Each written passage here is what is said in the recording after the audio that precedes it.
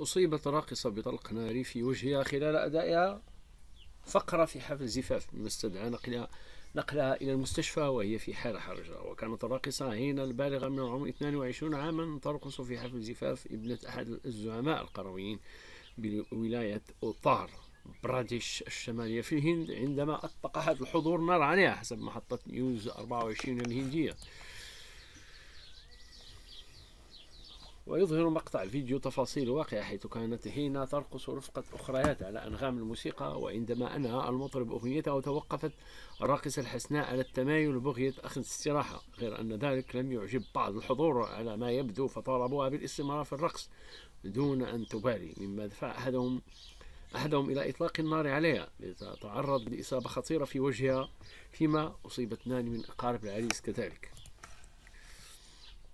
غير أن ذلك وعلى الفور جرى نقلها إلى المستشفى يتبين الأطباء أن الرصاصة قد أصابتها في الفك لكن حالتها سرعان ما استقرت وبدأت تتماثل للشفاء وفق ما ذكرت وسائل إعلام محلية شارك في القناة وانضم لفريق عمل رشيد حباشو. للانضمام لفريق رشيد عمل حباشو يرجى إرسال طلب انضمام لرقم الواتساب الذي تشاهد على الشاشة. بانضمامك لفريق رشيد عمل حباشو أول شبكة عالمية لخبراء الأحجار الكريمة فإنك تستفيد بالمجان من استشارات في الأحجار الكريمة. فحص دوري مجاني في مختبر الأحجار الكريمة ودورات تكوينية في مجال الأحجار الكريمة بالإضافة إلى زيارات ميدانية عبر العالم لمعارض الأحجار الكريمة.